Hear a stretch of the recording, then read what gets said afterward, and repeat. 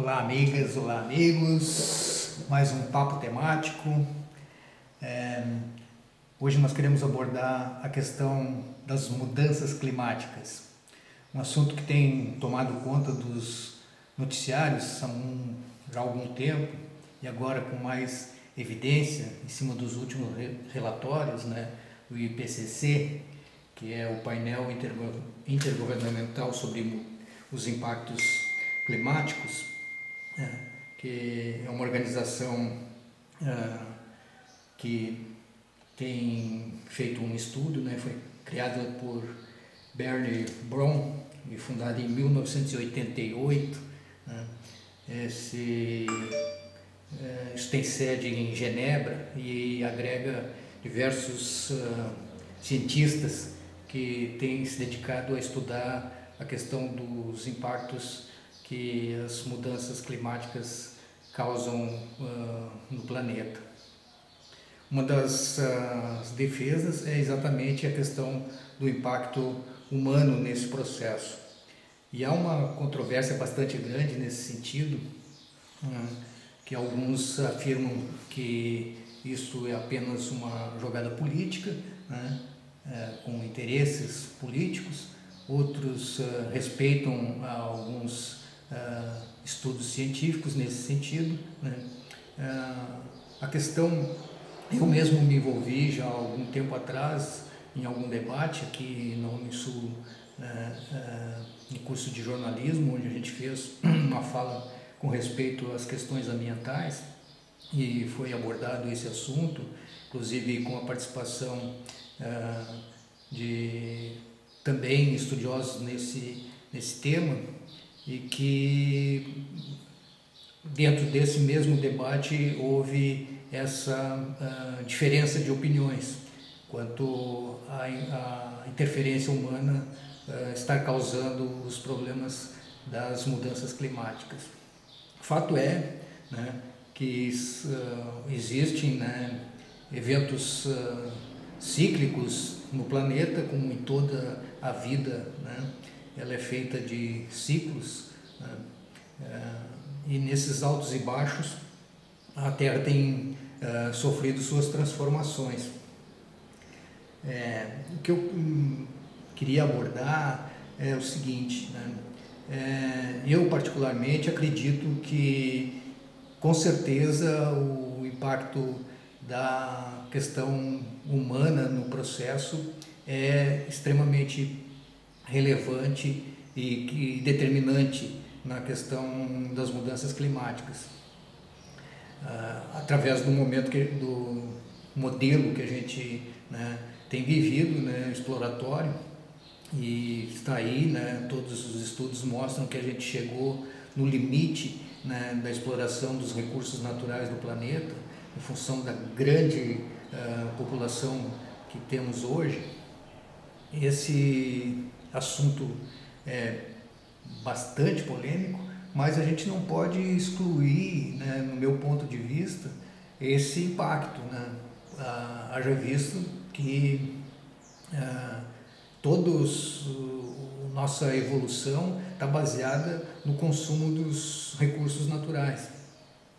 E esses recursos naturais são finitos, né? diferente do que eh, era imaginado né, algum tempo atrás, seja por desconhecimento ou até por uma falta de atenção no processo uh, global. Né? A gente uh, tinha referências locais né, e poucas referências globalizadas. Agora, com esse fenômeno da globalização, né, principalmente pelas vias aí da internet, né, o mundo se tornou né, uma coisa só. Né, e esse conhecimento se tornou também ah, ah, palpável a qualquer uma dessas regiões.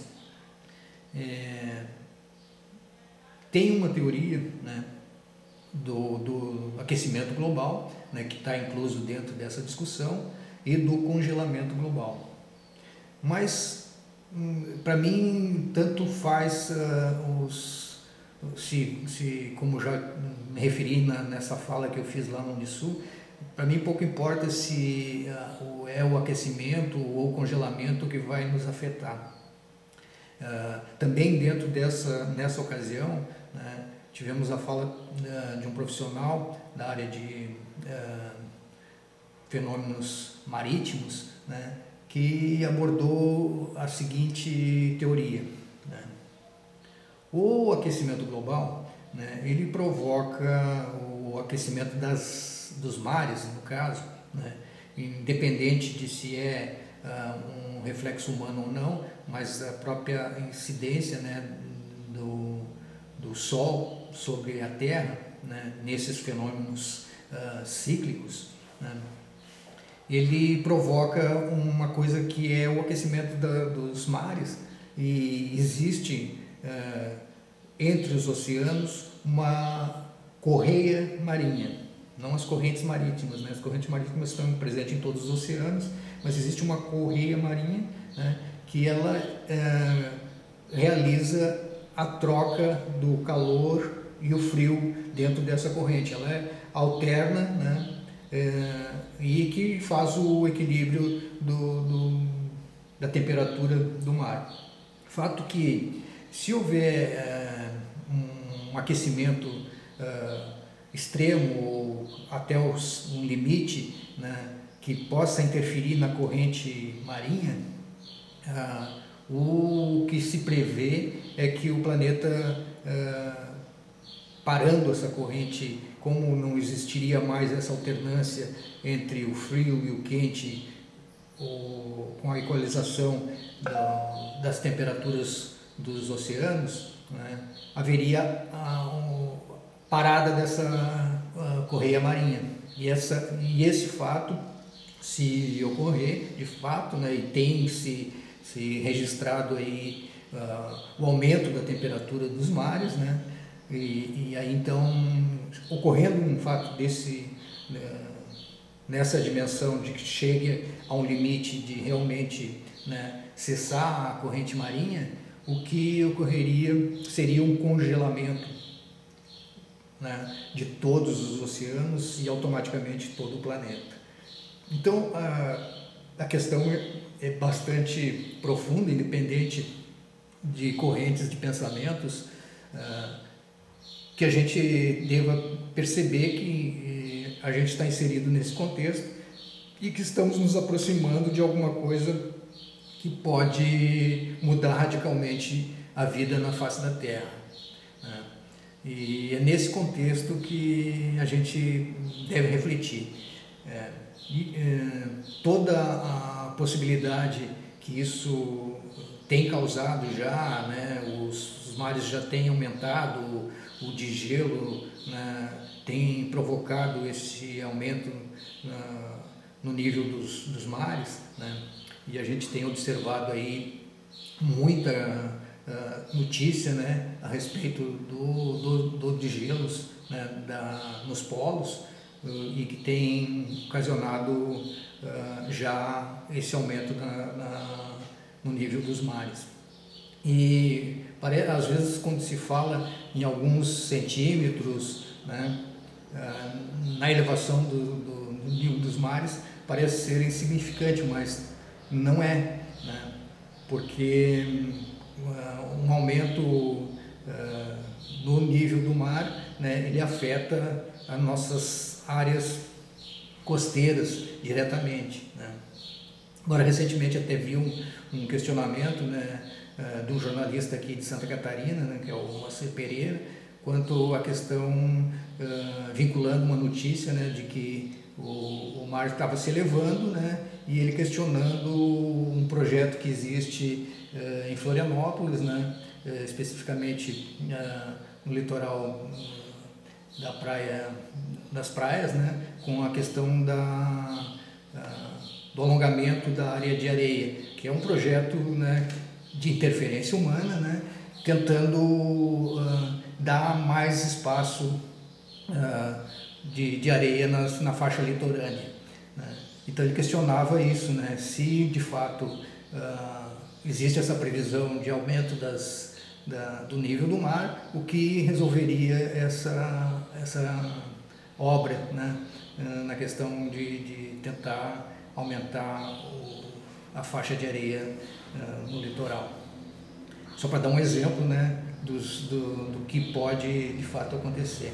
Então, a gente defende que todo o esforço né, a nível de preservação, seja ela na questão das florestas, seja ela na questão do, da, do, do, próprio uh, atmosfera, né? com a nossa poluição atmosférica que uh, é bastante grande e tem crescido né, muito. Né? Então, todos os esforços que têm sido feitos dentro desses acordos né, têm relevância com essa história.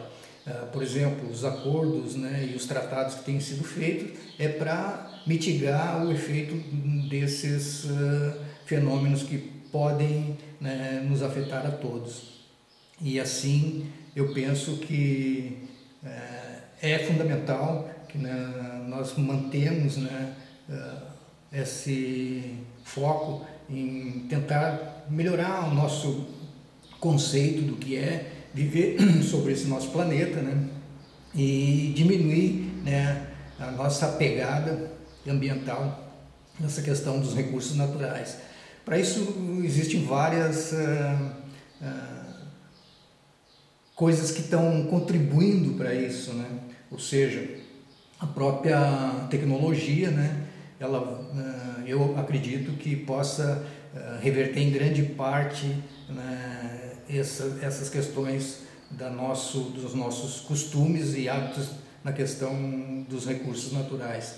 Haja visto aí né, a própria as, as novas tecnologias que uh, dizem respeito à questão da geração de energia, né, que a utilização de eliminação das fontes né, de, do, do, dos uh, combustíveis fósseis, né, que são extraídos do nosso planeta, né, e utilizar a nossa energia gratuita, que é a energia solar ou eólica. Né, e eu ainda vou além, eu acredito que é muito mais importante que nós pensemos eh, em alguma coisa né, integrada entre todas essas tecnologias, eh, possibilitando não de novo um modelo concentrador, mas sim uma geração de sustentabilidade.